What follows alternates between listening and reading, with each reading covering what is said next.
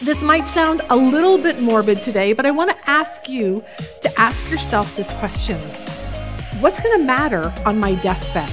Like right before I take my last breath, what's going to really matter? What am I going to be thinking of? Am I going to be thinking about God's kingdom, heaven, eternity? Or am I going to be thinking about my kingdom, the sadness I have for leaving this earth? This week, we're going to see Jacob and Joseph leave the pages of Scripture, and we're going to see why it matters that we end really well.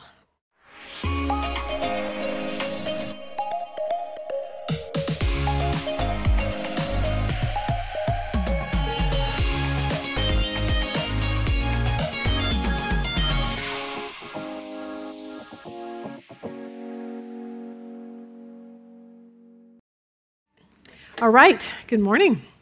Welcome to our series in Genesis. For those of you that are here, we're glad you're here. If you're new, super happy you're joining us. If you're watching us however you found us, we're glad you're watching or listening because today is our final lesson in the book of Genesis. Now, before we start, like, I'm going to tell you something that happened that was kind of funny, but nobody really cares about my eating habits, but I'm going to tell you this anyway, okay? So, after Thanksgiving, Oh, wait, the other thing I had to tell you too is over there somebody, um, somebody gave us a whole bunch of these. They're the crosses, and um, they're, they're really pretty. They're hand painted. And she donated them all so that you could make a donation to Bible study. So if you want those over there, they're over there. Just take them and just, you can make a donation. Cindy will be taking money this morning or whatever. So I meant to say that and I forgot. Okay, back to my eating problems. Um, okay, so uh, since Thanksgiving, I got on this pumpkin pie kick. Okay, because I eat chocolate cake every day, and then now I'm on pumpkin pie. So I, I, I started getting you know, whipped cream. It, it, was like, it's been the best. So I have a piece of it every day or two, whatever. Okay. and then I was talking to someone about it, and they're like, wow, did you know pumpkin pie is healthy? Okay, well, so we know that healthy is, is super important to me, right? so I Googled it, and I'm like, is pumpkin pie healthy? And they're like, it's a great vegetable to eat. The word vegetable just ruined it for me. my daughter's like, well, it's a squash. I'm like, so basically, I'm eating squash pie with whipped cream on it. Okay, that, and then, so last night I was eating it. I just, I'm having a hard time eating it now just because I know that. So, so I think I'm going back to chocolate cake. So, all right, today is going to be our final lesson in Genesis. It's been two years since we started with, in the beginning, God created the heavens and the earth. Two years ago, we, we started that. And then from there, we saw how he created everything, and then man and woman, uh, Adam and Eve. And uh, at this time, they had this perfect relationship with God until this event. Now, we will revisit our Skit Guys funny video. This is them being Adam and Eve and what happened at the fall. I thought we could maybe share together, okay?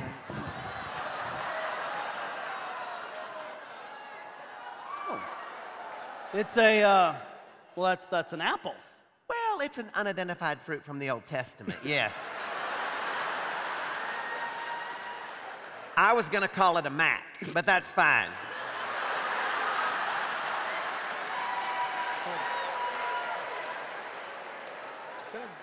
So what do you say? It looks good, but which tree did you get it Just from? Just over there. No, no. I need you. I need you to tell me which tree. I got it from the Smarty tree.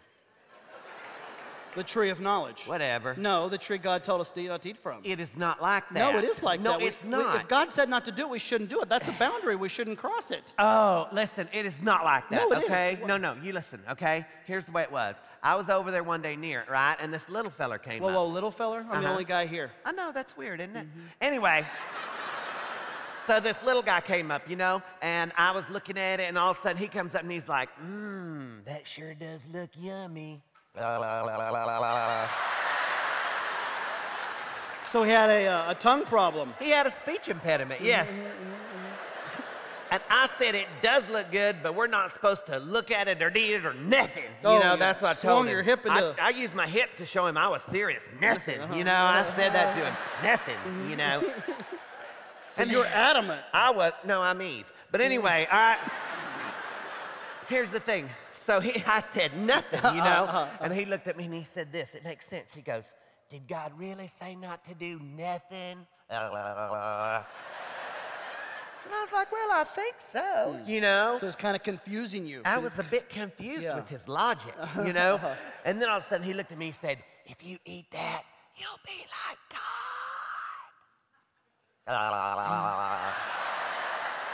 And so I picked. I thought we might share it together. What do you say? It looks yummy, huh? Eve, no, we should not Oh, do come that. on.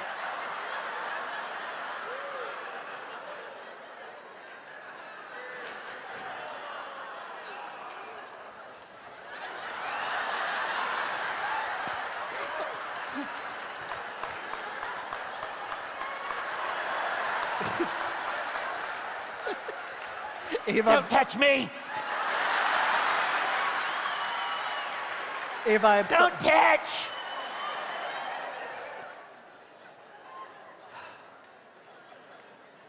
And this is where the codependency begins. let's let's eat the apple. I know it looks good, doesn't it? okay, ladies first. That's where that's from.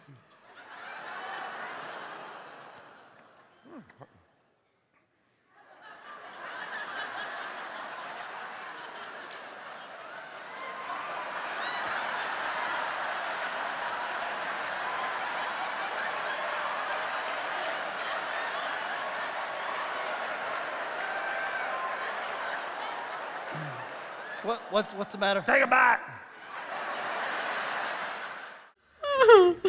All right, there you go. And that's what we learned at the beginning of Genesis, okay? We saw that because of that scene right there, how the whole entire world became filled with sin and sickness and disease. And, and the worst part about that is that when everyone is born now, they're born separated from God. That's just the way it is, all because of that. Then, then we saw in Genesis, Noah comes on the scene and, and God floods the entire world. The problem is, is that sin has infected us on the inside. The, the sin nature is what's, what's hurt on us on the inside. So all the flood can take away all the people, but even through Noah and his sons, there's still something that's going to be passed down. And what we see and what we saw in Genesis all through is that a holy God and sinful man are not compatible. They're just not. That's why we're born separated from God. But then God had a plan. And he had a plan to bridge this gap between us and him. It's kind of like, you know, to reconcile us back to a relationship with him. And this plan is what Genesis has been all about. Because this plan began, began with a man named Abraham, who then had a son named Isaac, who then had a son named Jacob, who then had 12 sons. And God would use this family to start a nation called the Israelites, the Hebrews. We know them as the Jewish, the Jewish nation.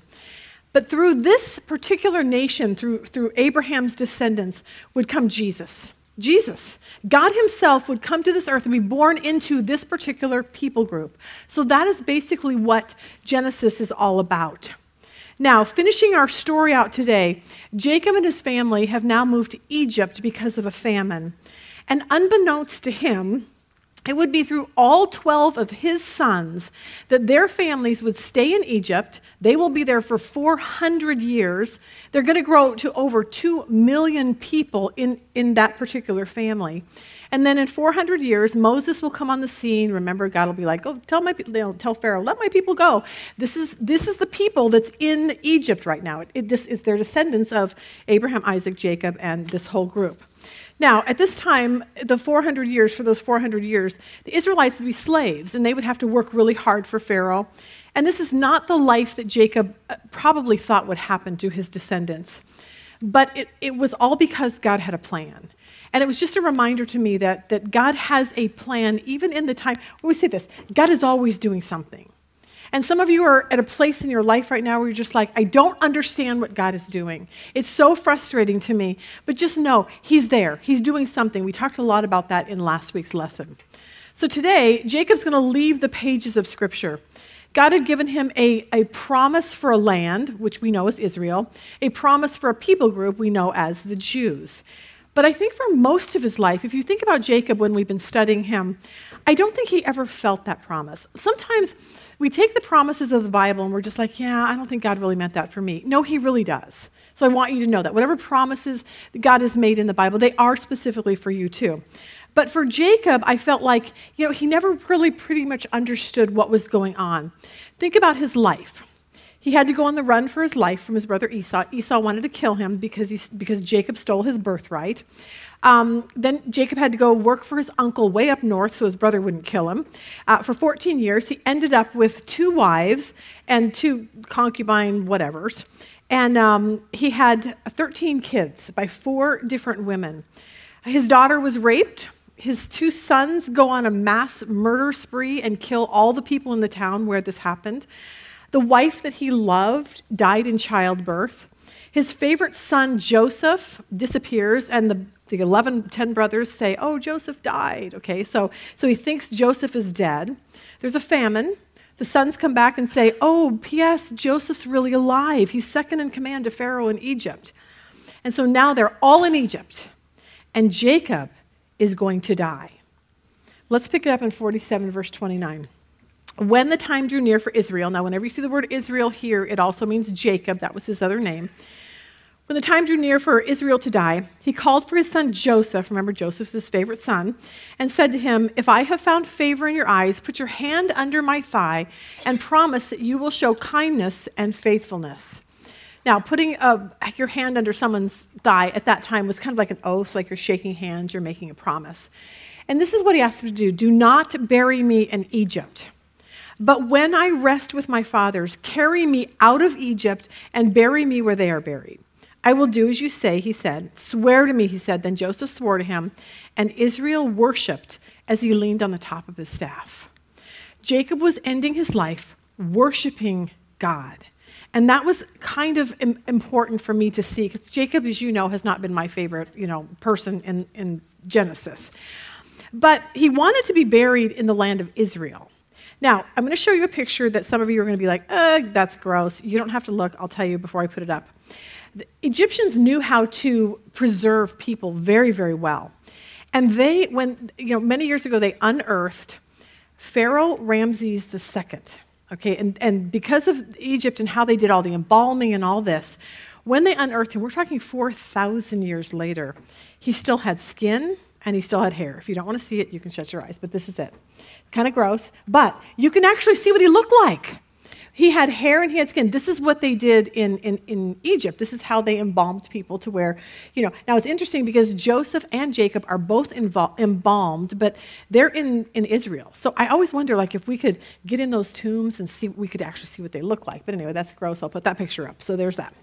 Um, so Jacob didn't care about being embalmed in, e- in Egypt. Jacob wanted to be buried in the land of his people.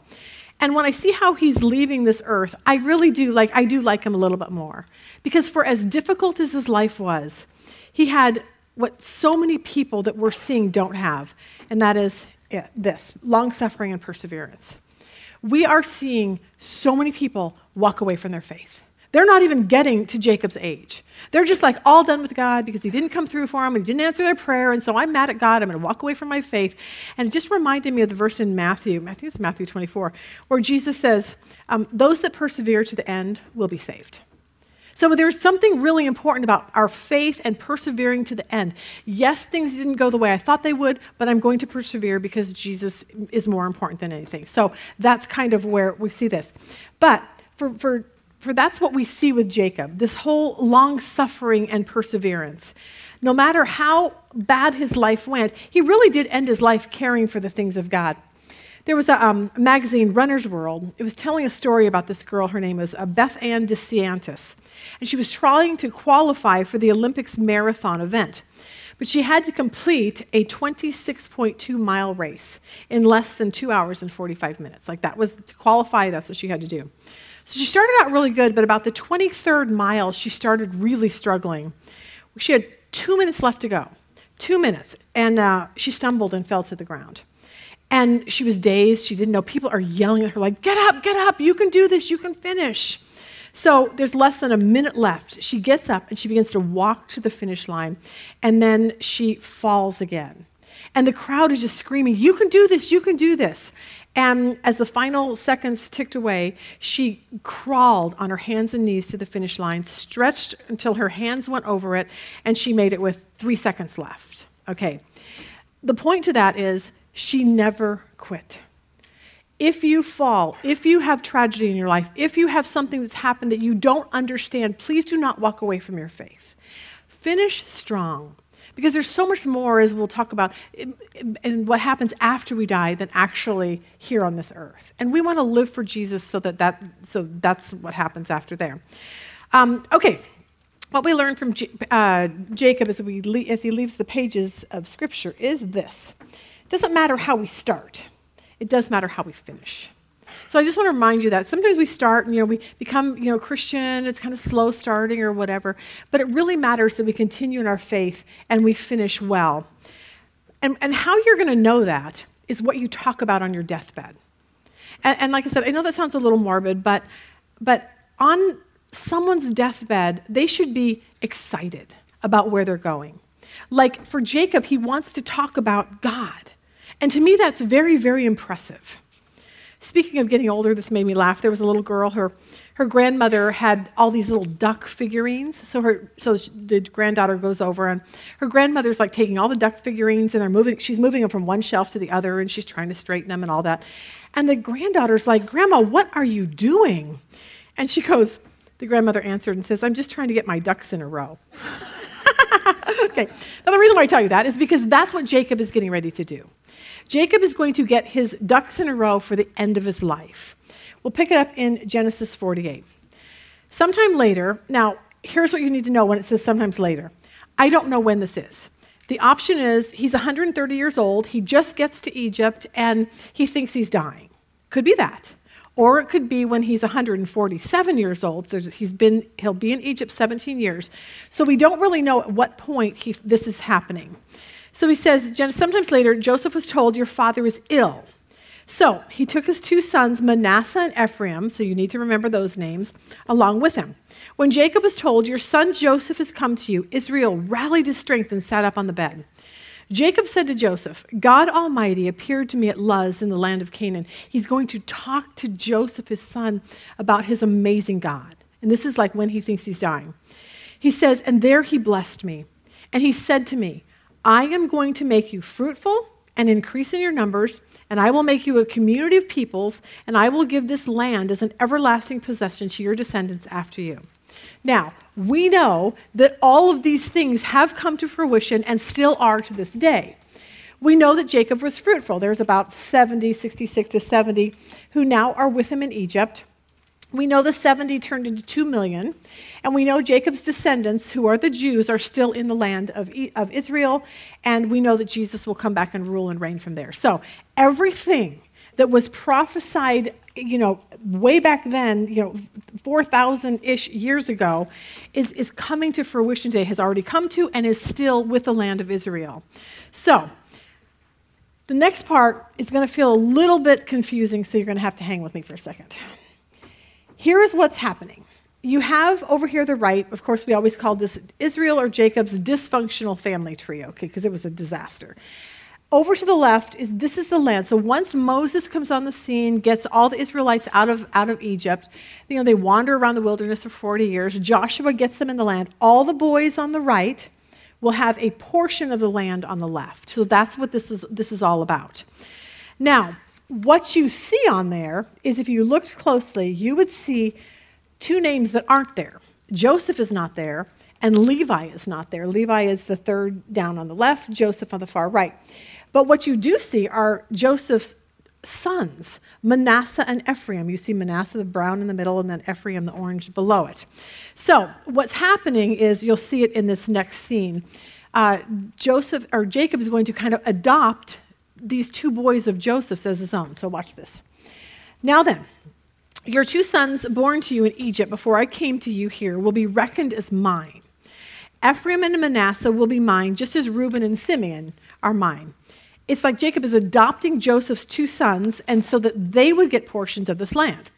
He goes on in verse 6. He says, Any children born to you after them will be yours. In the territory they inherit, they will be reckoned under the names of their brothers. In other words, you can have 20 other kids, they're not getting a portion of the land. Just like it's only going to be your first two, Manasseh and Ephraim. He goes in verse 7 As I was returning from Padan to my sorrow, Rachel, if we look back, you can see Rachel's um, uh, Joseph's mom, and this is Jacob's love of his life, said, To my sorrow, Rachel died in the land of Canaan while we were still on the way a little distance from Ephrath. So I buried her there beside the road. It's in Bethlehem. If you ever want to go to Bethlehem and see Rachel's tomb, you actually can see where she was buried. Then he says something interesting, which makes me think that this is, these boys are younger. because they're either when, when, he first gets to when Jacob first gets to Egypt, they're probably the boys are probably let's say six or seven. He's there for 17 years, or they could be in their 20s. So that's what I'm saying. But he says this. He says when it, you'll see it in a second. When Israel saw the sons of Joseph, he asks, "Who are these?" Now it's really interesting because it's like how do you not know your grandsons? And then it makes sense if this was the beginning when they first get to Egypt. Or it could be because he's 130, or it's because he's 147, he's going blind. I always say we probably should give him a break, okay? Um, kind of like this doctor. There's this patient that comes to the doctor's office and he's, he's freaking out. And he's like, Doctor, my memory's gone. He goes, I'm so upset, I don't know what to do. He goes, I, I can't remember my wife's name. I can't remember my children's name. I can't remember what car I drive. And the doctor goes, Calm down, calm down. When did this happen? How long, is, how long have you been like this? And he goes, Like what? I already forgot. so this is probably what's happening to Jacob, okay? He's kind of forgetting things. Verse 9. Uh, are we at 9 up there? And, and, and Joseph's like, well, like dad, they're the sons God has given me here, Joseph said to his father. Then Israel said, Bring them to me so I may bless them. Now Israel's eyes were failing, so we see that Jacob's you know going blind because of his old age, and he could hardly see. So Joseph brought his sons close to him, and his father kissed them and embraced them. Israel said to Joseph, I never expected to see your face again, and now God has allowed me to see your children too. Then Joseph removed from Israel's knees and bowed down with his face to the ground. So he took the boys, took them off his knees, which makes me think they're probably younger at this particular time. So this might be before, you know, right after he gets to Egypt. But it's really fascinating to me where he says he, Joseph bowed down with his face to the ground because that's what I think our culture is missing. We don't, we don't honor our elders any longer. Um, and we see this with Joseph. Joseph is second in command to Pharaoh in Egypt. Like he's a really, really uh, important person. And yet here he is bowing down to his 130 year old father, elderly father. And yet we see that. I was talking to a girl this summer, and she's a teacher, uh, she's a junior high teacher. And um, she said, I don't think I can do this very much longer. She goes, I have never seen such disrespectful children in all my life. They don't care about adults, they don't care about, there's no respect whatsoever. And I thought, wow, you look at this story and you see how much they respected their elders back then. All right, verse 13. I have a lot of scripture to cover, so it's going to be a lot of Bible. Joseph took them both, Ephraim on his right toward Israel's left hand, and Manasseh on his left toward Israel's right hand, and he brought them close to him. But Israel reached out his right hand and put it on Ephraim's head, though he was the youngest. And crossing his arms, he put his left hand on Manasseh's head, even though Manasseh was the firstborn. Then he blessed Joseph and said, May the God before whom my father, Abraham and Isaac, walked faithfully. This is my favorite line. The God who has been my shepherd all my life to this day. Like he's looking back at his life, and as difficult as it's been, he's like, God has been my shepherd. He's been leading me all along. He said, The angel who delivered me from all harm, may he bless these boys. May they be called by my name and the names of my fathers, Abraham and Isaac, and may they increase greatly on this earth. But the problem is, Joseph sees that there's an issue with this because his dad is about ready to bless the wrong child. He's probably chalking it up to, like, oh, dad can't see or whatever. Because in that culture, the older son always got the blessing, the double portion, the double blessing. He would get double land, he would be the one in charge of the family. And so th- Joseph's looking at this and going, This is wrong, Dad. You're, you're giving this blessing to the wrong child. But what we've seen throughout Genesis is that God, there's times when God has changed that. He's, made, he's completely changed because remember when Ishmael was born, Ishmael and Isaac? Uh, Ishmael was the firstborn, but the blessing went to Isaac. You see, Jacob himself, who's the, who's the grandfather here, uh, Jacob was, um, he, his brother Esau had the blessing, but Jacob stole the blessing, and then he ended up getting it, which was bad, but good, but whatever. So the younger is getting blessed and, and getting the blessings, and not the older. So this is about ready to happen again. Verse 17 When Joseph saw his father placing his right hand on Ephraim's head, he was displeased. So he took a hold of his father's hand to move it from Ephraim's head to Manasseh's head. Joseph said to him, No, my father, this is the one, this one is the firstborn. You, you put your right hand on his head. But his father refused and said, I know my son, I know. He too will become a people, and he too will become great. Nevertheless, his younger brother will be greater than he, and his descendants will become a group of nations. He blessed them that day and said this In your name will Israel pronounce this blessing. May God make you like Ephraim and Manasseh. So he put Ephraim ahead of Manasseh. Isn't that interesting? Then Israel said to Joseph, I am about to die but God will be with you and take you back to the land of your fathers. This was a reassurance to Joseph that yes, you're in Egypt. Yes, your family's here. Yes, we are all here. But one day, God has promised that that land in Israel is yours and you will be back. He's trying to encourage Joseph that your story is not going to end here. And then he says this And to you I will give one more ridge of land than to your brothers, the ridge I took from the Amorites and with my sword and my bow. Now, this is what it's going to look like. As you just could see, uh, Levi's not there and, and Joseph's not there. Ephraim, and Manasseh, they are there. So that fills out the, the entire you know, map of what's going to happen. And Jacob now is realizing that his life is about ready to end. Someone wrote this, and I thought this is cute. They said, There's seven stages to life, and they're all summed up in a word. The first stage is spills. Okay, this is when you're born, you're a baby, you grab something, you spill it, there's juice, there's water, whatever, you're just constantly spilling things. That's the first stage of life. The second stage is drills. This is when you go to school and suddenly you're tested or, or drilled all the time, um, getting knowledge on how to live. The third stage is thrills, okay? You're growing up, you're becoming a teenager, you're going off to college, you're becoming independent. Life is thrilling, you're just having fun. And then you re- reach the fourth stage bills. you have to pay for it, okay? So life now takes on a whole different meaning as now you're responsible for the choices that you make.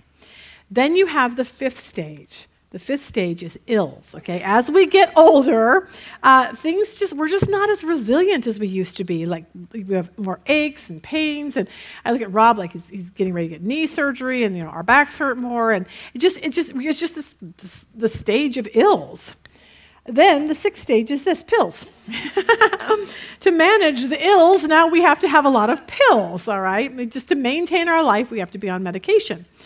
And finally, the seventh stage is this wills. Okay? and this is pretty much where Jacob is right now. He's at the stage of wills, but, but it's going to be different with his boys because this isn't like you get the house, you get the car, you get whatever, and you get the money in my bank account. It's not like that. This is the stage where it's more like a legacy. He's, Jacob's going to prophesy over each one of these 12 boys and tell them what their descendants are going to be like, especially when they get into this land in Israel. So let's pick up in 49, verse 1. Then Jacob called his sons and said, Gather around so I can tell you what will happen to you in the days to come. Assemble and listen, sons of Jacob, listen to your father Israel. All the boys are there, 12 boys, and I want you to remember who 10 of those boys are. These are the boys that threw Joseph in the, in the pit, pulled him out, sold him to traders, lied to their dad. Ten of these boys. Watch this. Brothers! Brothers, look what Father's given me! Father's given him another gift.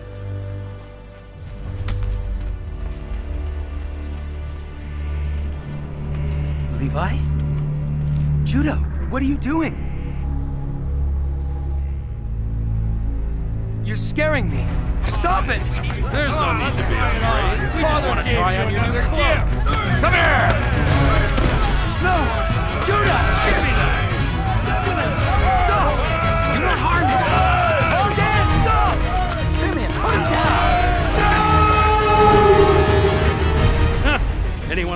New coat?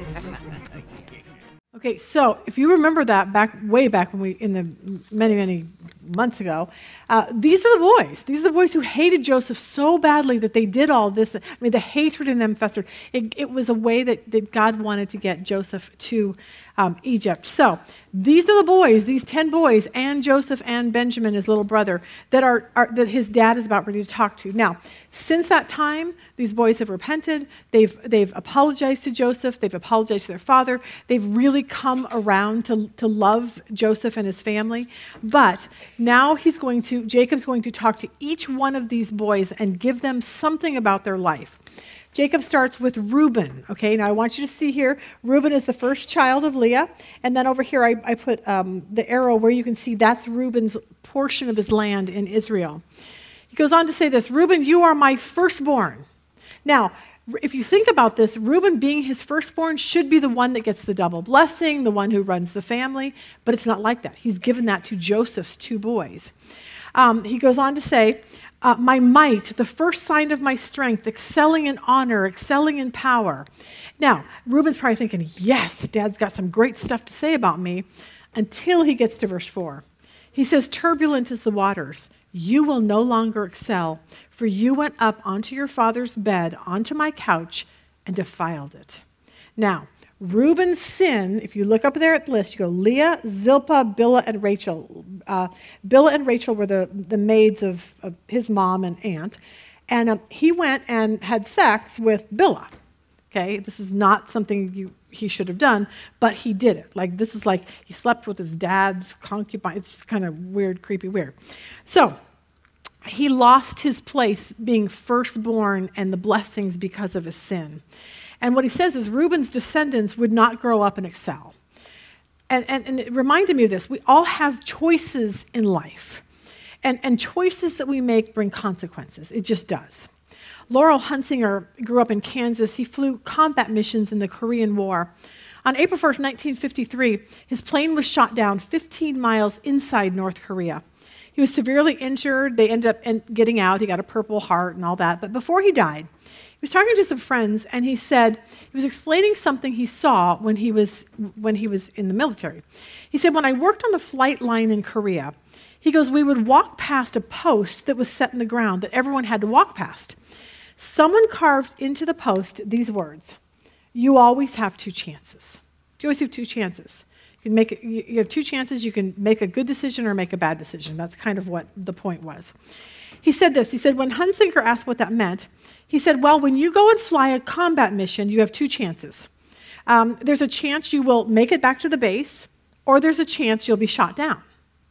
He said, Now, if you're shot down, you'll have two chances. Uh, the, the, the, your chances are you'll either survive the crash or you won't. If you, have, if you survive the crash, you'll have two chances. You'll evade the enemy or you'll be captured. If you're captured, you'll have two chances. You'll live through being a prisoner or you won't. If you die a prisoner, you'll have two chances. You're either going to go to heaven or you'll go to hell. Everything is based on the choices that we make in life, and we always have a, we have you know chances to go here chances to go here. And unfortunately for for Reuben, he did not make good choices in his life, and there's lots of consequences to that. The next two brothers also didn't make good choices. Simeon and Levi, you can see Simeon right there uh, on the list. Simeon is the very, very bottom down there on the map. He's under, he's, he's farthest down. Levi, remember, or I haven't told you this yet, Levi won't get any land at all. And you can kind of see it here. Simeon and Levi are brothers. These are, the, these are the two boys that murdered went on that murderous rampage. Their swords are weapons of violence. Let me not enter their council. Let me not join their assembly, for they have killed men in their anger and hamstrung oxen as they pleased. Cursed be their fierce anger, so fierce in their fury, so cruel. I will scatter them in Jacob and disperse them in Israel. Now, the tribe of Levi would never have their own land. They literally will be dispersed throughout Israel. Everything Jacob said is, has, you know, has come true. Um, Simeon down there would be absorbed into Judah above him in, when it came time for land. So, really, they're just kind of, because of what they did in their life, there was huge consequences. I just want to tell you real quick Levi, if you look at the, the descendants of Levi, uh, you have Moses, Aaron, and John the Baptist. They all come from the tribe of Levi because it's a, a priestly tribe, so I kind of thought that was interesting. All right, next we have Judah. Judah is over there. He's uh, whatever son that is, another one, two, three, fourth son. He goes on to say this Judah, um, the reason why this, this is going to be a longer uh, prophecy because from Judah comes Jesus. So from Judah's lineage would come, um, would come first King David and then Jesus. Judah says this Judah, your brothers will praise you. Your hand will be on the neck of your enemies. Your father's sons will bow down to you. Uh, now, here's the bad part about Judah. If you remember him, Judah was the one who slept with his daughter in law, Tamar. She dressed up, pretended to be a prostitute. There was that whole really bad situation. But Jacob doesn't bring that up. Jacob brings none of that up. And I think it's because Judah is the one who tried to save Joseph's life. Way back when the brothers wanted to kill him and throw him in the cistern, Judah's the one that's going, no, no, no, let's just sell him to traders. Let's not kill him. And then we see him also with um, um, Joseph and Benjamin. They're, Joseph's going to throw Benjamin in, in jail. And Judah's like, no, no, no, I'll take his place. Let me do it.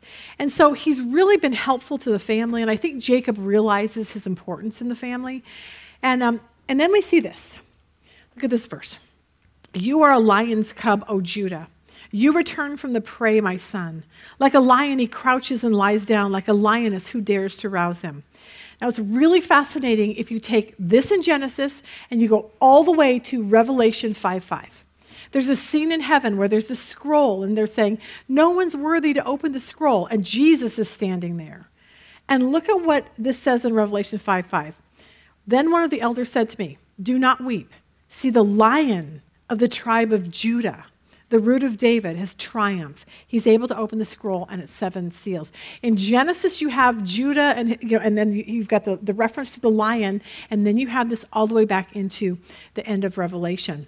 Jacob goes on to say this in verse 10. He says, The scepter will not depart from Judah, nor the ruler's staff from between his feet, until he comes to whom it belongs, and the obedience of the nations is his. A scepter is a symbol of authority or a king, and we know that Jesus is coming back to be king of kings on this earth. And all of this we're reading about in Genesis. So you can kind of see the Bible as this, this whole big, beautiful story that God wants us to understand. Um, prob- I would say it doesn't make sense to them at all, but it does to us looking back. Then, then we see this here, and I will just tell you I have no idea what this means. He will tether his donkey to a vine, his colt to the choicest branch. He will wash his garments in wine, his ropes in blood of grapes. His eyes will be darker than wine, his teeth whiter than milk. Now, some people think this speaks of the thousand year reign. Uh, so this seems to have an end time prophecy to it, so I, I, don't, I don't have an answer for that. Go on to the next child, Zebulun. If you look over here, he's the one way down there on, on one of Leah's kids. Zebulun will live by the seashore, become a haven for ships. His border will extend towards Sidon.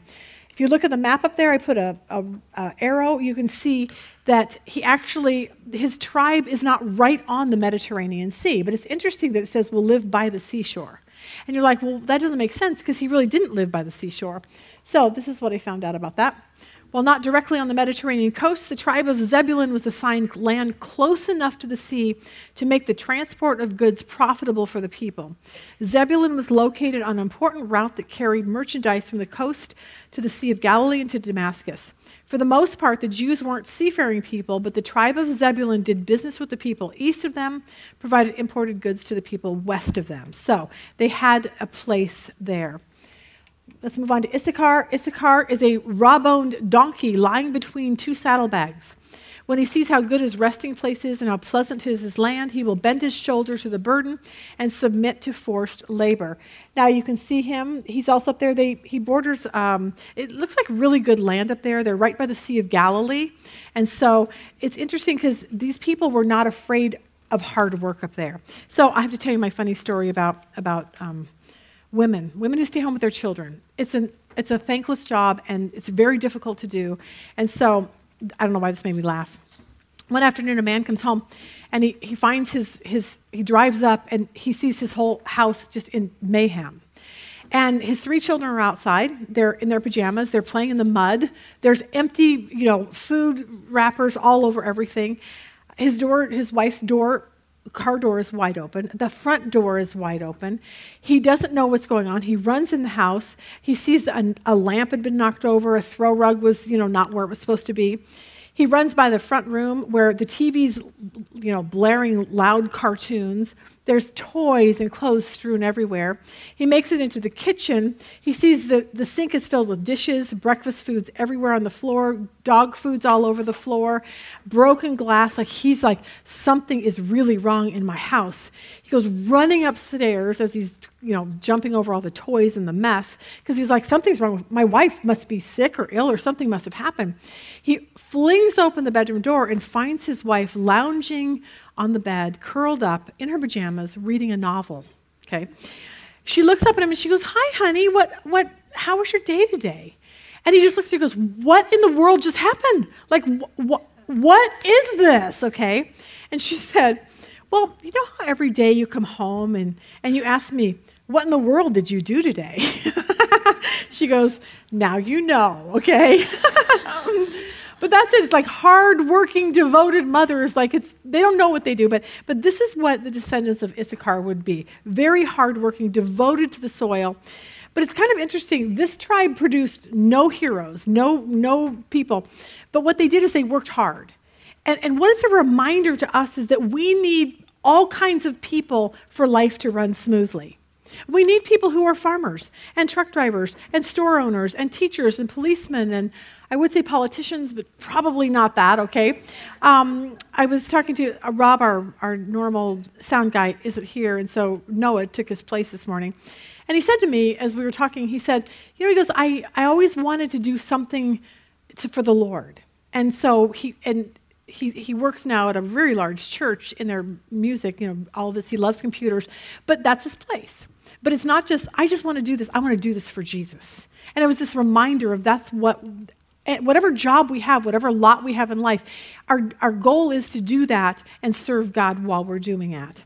So, what I realized is that when you look at all of these kids, they're all in different parts of the land. They all have different jobs. They're created completely different. And so I just wanted to remind you please embrace the gifts that God has given you. Embrace the talents, embrace your job, embrace your life. Like, don't try to be someone else. Not everyone is called to be a Joseph. Not everyone is called to be an Issachar.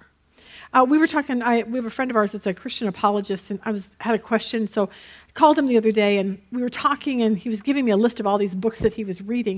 And I started laughing because I'm thinking, I've never even heard of these authors before, because he's uber smart. Um, but then it dawned on me that I'm, I'm not supposed to be reading those books. I read books on missionaries and, and helping us understand what it means to follow Jesus. So we each have our part. My husband, you know Rob, he's an encourager. I'm not that encouraging. Okay, that's his job to do that. But that's just like we all have different gifts, so let's be who we're supposed to be. Okay? Now, we've been going through list and list and list of Bible names, so we'll have to watch a funny John Crist video about this. Because kids these days, like every kid in my family, very Christian family, every kid is a name from the Bible. Everyone has a Bible name in our family. Anybody got a Bible name up here in the front? What you got, man? Samuel. Samuel, what did he do? You don't know. Didn't listen, I'll tell you that. Uh, anybody else got one? What you got, man? Mary. Mary? okay, yeah. Thanks for coming. I got nothing for that. I got nothing for that. My, my name's John. I asked my, this is a true story. I asked my mom, but why'd you name me John? They said, we named you after John the Baptist. I go, me? I don't think I'm doing a very good job. John the Baptist, dude, this man baptized Christ, was martyred for his faith. I used a coupon at Wendy's yesterday. Like, just stop naming your kids Bible names. It's not helping, it's not lying. My, dude, my nephew is named Malachi. His name is Malachi. Malachi in the Bible, this man was a warrior, prophet, strong. My nephew Malachi, extreme peanut allergy. Just.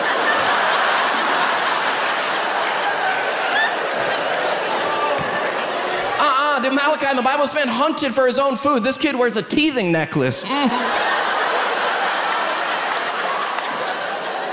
It's embarrassing. No, my sister would be like oh, always reading about Malachi, reading the story Malachi. One day when you get to heaven, you're going to meet the real Malachi. The real Malachi is going to be embarrassed. You're bad for the brand, dude, you know? kids are naming the kids Bible names. They're not even good kids. You've seen these? Here's our son Paul. I've seen that kid. That's Saul. Dude, that's a bad. The name should line up. That's all I'm saying. The name should line up. I got a buddy named Caleb. His name is Caleb. Just like, I know. It's like Caleb in the Bible, this man was a warrior, led the children of Israel into battle, took the land of milk and honey. My buddy Caleb, allergic to milk and honey. Just. Okay, we got to see him. He was here in Phoenix, and we got to see him on Friday night. And I honestly don't think I've ever laughed so hard in my entire life. Okay, so he's really, really funny. All right, that's our little break. Now we got to keep going. All right, Bilhah's. If you look here, you see now we're moving from Leah's kids over to Bilhah. She is uh, Rachel's maid. Now, if you remember, Rachel couldn't have kids and she was barren and at the time so she gave her maid Bilhah to sleep with Jacob so that she could have kids and kind of be like okay these kids are mine but that just never worked out that way. So the first son of Bilhah was Dan okay? Look up there we see Dan will provide justice for his people as one of the tribes of Israel. So the word Dan means to judge. His tribe produced one of the most famous judges Samson Okay, so it's interesting that everything Jacob's saying actually happened. When you read the Bible, you go, oh, Jacob told us that was going to happen. Speaking of judges, this made me laugh. Guy wanted a divorce. He comes to the judge and he said, I just can't take it anymore. Every night, my wife is out at the bars, and going from bar to bar to bar, out every single night. And the judge says, Well, what's she doing? And the guy says, Well, she's looking for me. oh, all right, Dan, where you go? Dan will be a serpent by the roadside, a viper along the path that bites the horse's heels so that its riders tumble backwards. Now, I'm going to go back and show this to you really quick. See where Dan is over there? Bottom left uh, above the pink. Okay, a little thing of Dan right there. That's where Dan was. Apparently, he didn't like to be by the Mediterranean Sea. I don't know what happened, but if you look at this next slide, he moves his whole tribe up north.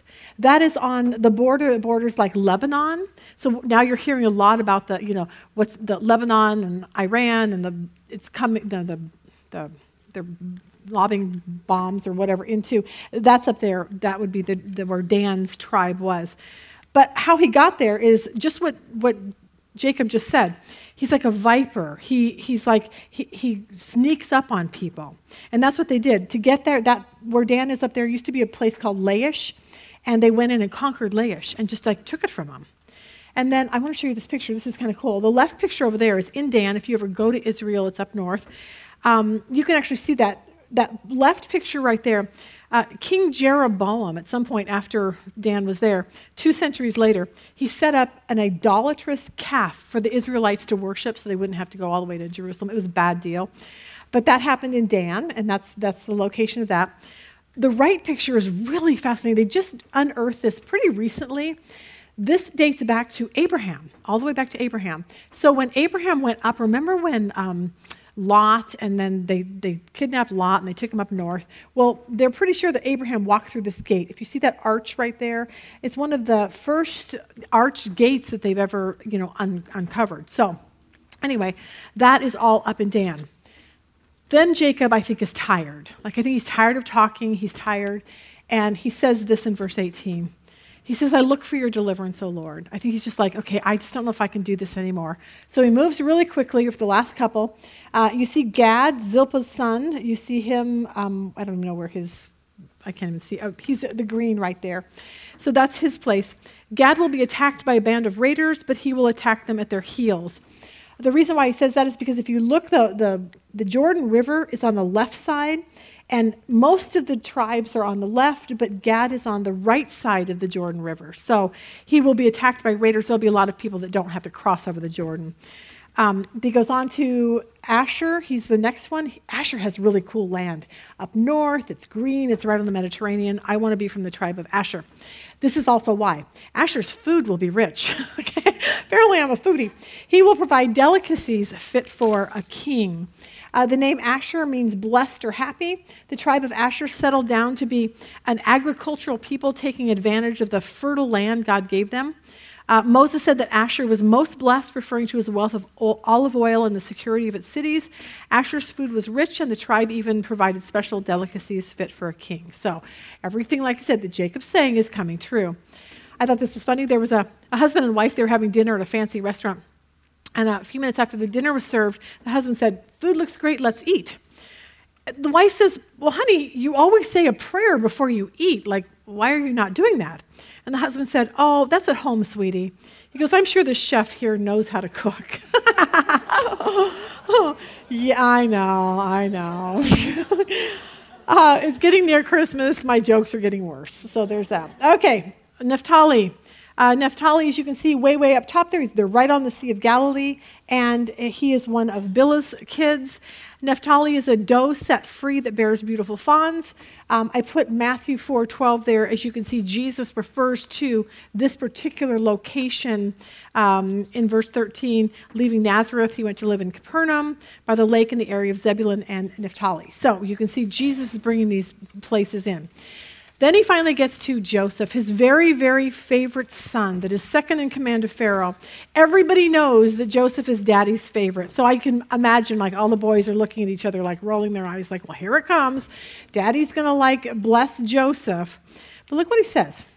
He says, Joseph is a fruitful vine, a fruitful vine near a spring whose branches climb over a wall.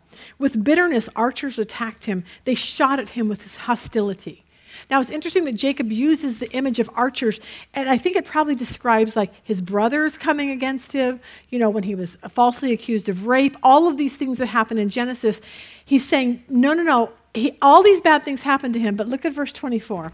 He says, but his bow remained steady, his strong arm stayed limber. In other words, no matter whatever happened in Joseph's life, he stayed strong and steady, no matter what anyone ever did to him.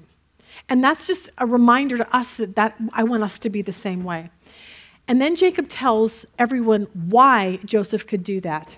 He says this because of the hand of the mighty one of Jacob, because the shepherd, the rock of Israel, because of your Father's God who helps you, because of the Almighty who blesses you with blessings of the heaven above, blessings of the deep that lies below, blessings of the breast and womb. Your Father's blessings are greater than the blessings of the ancient mountains, than the uh, bounty of the age old hills. Let all these rest on the head of Joseph, on the brow of the prince among his brothers. I love how he said, Joseph made it through everything he did because we have an awesome God. He trusted God, we, he believed in God, and he kept that. He didn't get any land, remember, that was to his sons. Next one, really quick. This is the last one Benjamin. Benjamin is, as you can see, Rachel, the love of Jacob's life, ended up having Joseph, his favorite, and Benjamin, his other favorite. So, uh, baby Benjamin, this is what he says Benjamin is a ravenous wolf. In the morning, he devours the prey, in the evening, he divides the plunder. And it's weird to me that that's all Jacob says about him. Now, I think Jacob's exhausted. I think he's about ready to die. He's tired. He's trying to get everything out to these kids, and this is the last. He was done. No more long prophecies. Uh, but what you can see if you read your Bible, you'll be able to see that, that everything that Jacob said was absolutely true. That Benjamin, the people, his descendants, will be like ravenous wolves. They're going to devour people. Now, Saul, the first king in Israel, remember Saul who, who went and chased David and tried to kill him? He was a Benjaminite. He came from this tribe. Um, Saul murdered an entire town of priests in Nob. So every, like I said, he's a ravenous wolf. His descendants would be like that. That would make me sad. Saul of Tarsus, remember Saul, who eventually became Paul?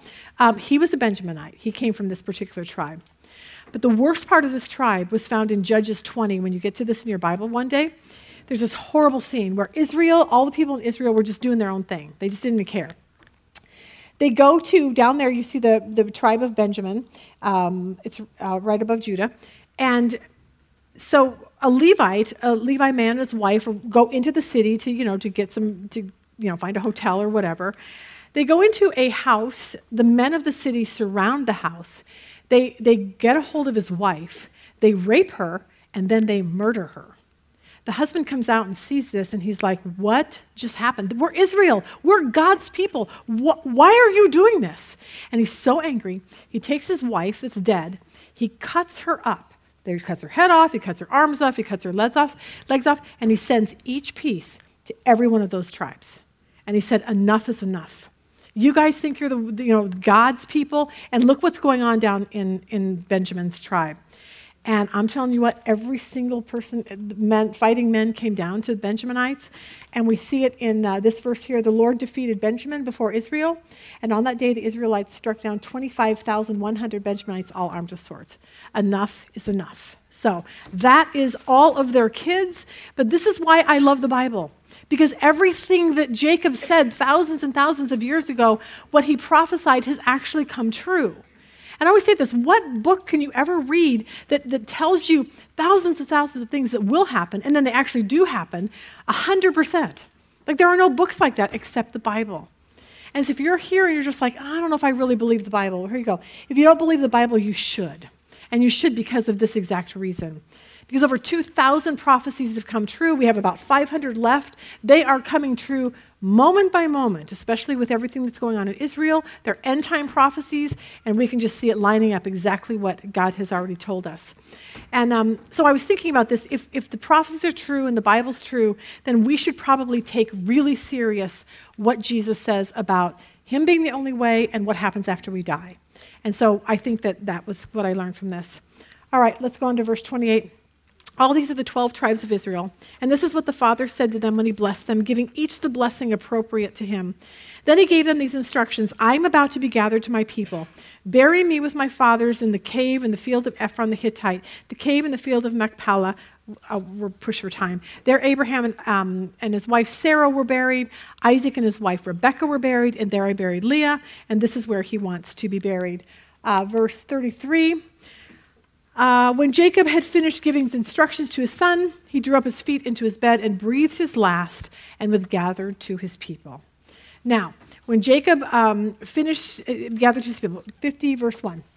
Jacob, Joseph threw himself upon his father and wept over him and kissed him.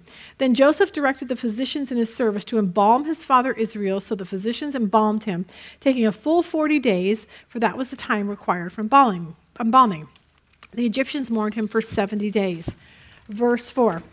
When the days of mourning had passed, Joseph said to Pharaoh's court, If I have found favor in your eyes, speak to Pharaoh for me. Tell him, My father made me swear an oath and said, I am about to die. Bury me in the tomb I dug for myself in the land of Canaan. Now let me go up and bury my father, then I will return. Uh, Pharaoh said, Go up and bury your father as he made you swear to do. Now, we're just like really pushing it for time, so I don't know how we're going to do this. Uh, seven, he goes to bury his father. There's all these dignitaries. Everyone goes. Uh, and then let's go down to verse 14.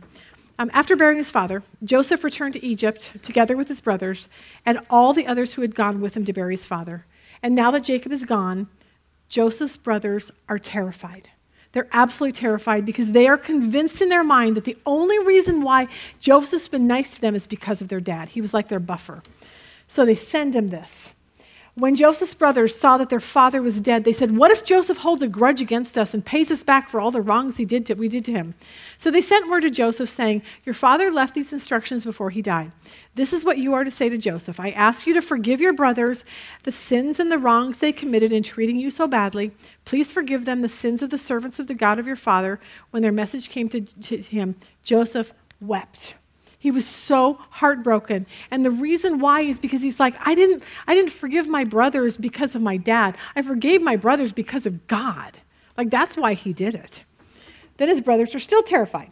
So his brothers came to them and threw themselves before him and said, We're your slaves. And he's like, What? And it's so weird, weird that they, they, that's what they thought. They were, they, I always call it creating monsters. Like this, uh, Cheyenne, uh, Susie had a one year old birthday party, and it's an hour and 15 minutes to her house. We drive all the way out there. We'd just come back from California the day before. We stayed an hour and then we left. So I called her to talk to her and say, like, hey, the party was great. She doesn't answer. I call her again. She doesn't answer. I created so many monsters in my mind. I was convinced Cheyenne was mad at me. I didn't stay long enough for party, you know. And then she finally called back and she's like, "Oh, sorry, someone came over and that was it." But that's what happens. These guys are creating all these monsters, no reason for it. They're just creating that, like, you know, Joseph's going to hate us and he's going to throw us in prison and all this. But look what Joseph says. Joseph said, "Don't be afraid." Am I in the place of God? And then he says something that you and I need to remember as the, the ultimate when it comes to Genesis.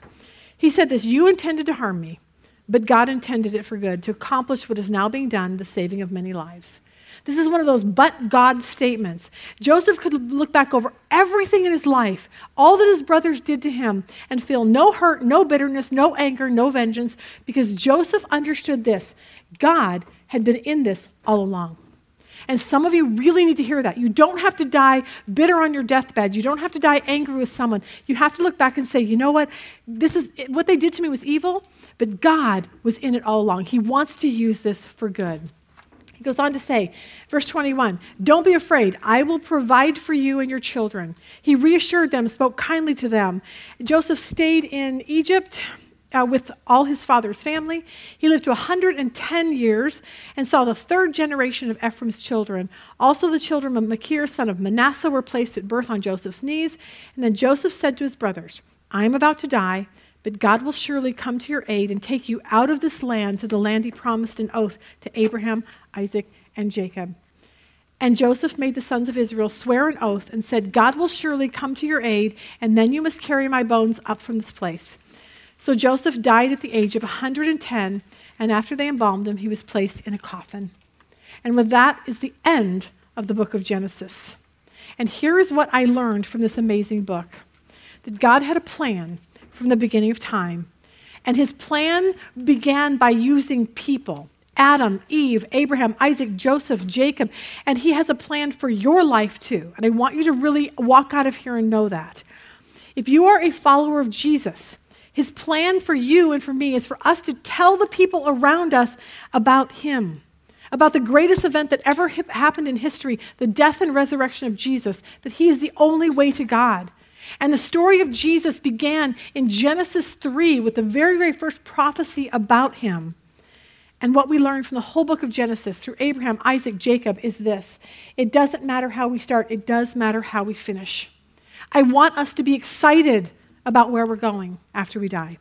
I want us to be pointing people to Jesus on our deathbed as we're talking to those around us. I want us to care more for the things of God than the things of this earth. And I will tell you the only way to have that kind of a deathbed experience where, where you're excited to leave this earth is to know God. And the only way to know God is to study His Word, the Bible. We opened Genesis two years ago with this tagline The journey begins. And it does this big epic adventure written by God Himself doesn't end with Genesis.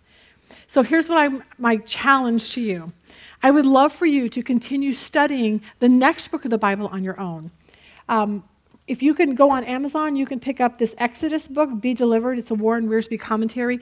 Do it in the mornings, do it with some people, whatever. Don't stop at the end of Genesis. Continue on because I will tell you, you read Exodus, your faith will grow leaps and bounds as you see this powerful, magnificent God. So, we leave the pages of, of Genesis. We will be continuing on in our Bible studies, talking um, John and Romans. And um, this is what I say please don't stop at the death of, of, of Joseph. Keep on going. What I'm going to do is I'm going to pray really quick. Uh, next week, we're going to be in Romans. For those of you that wonder if the Bible talks about homosexuality, the answer is yes. And next week, we will hit it really hard because it's, it's a huge portion of Romans where we're going to be. So come back for that next week. And um, I'm going to pray, and then I'm going to put up, and you can just leave as the song is playing. This was a song called um, that God was in it after all, and we had uh, Michael Land sing this, so you can listen to this as you're as you're walking out of here. But um, thank you for those of you that started two years ago with us. I'm so proud of you. I just talked to someone and she goes, I have learned so much through Genesis. And I'm like, yeah, it's kind of a cool book. So, Father, thank you for your word. Thank you for this amazing book. Thank you that we're done and that we're ready now to move on to something else. I pray that you would um, use all the stories in Genesis to change us, that we'll be people that love you more, know you better, and really are excited for the day, just like on, on Jacob's deathbed, where we can tell people about you. Thank you for that. Bless these women in Jesus' name. Amen.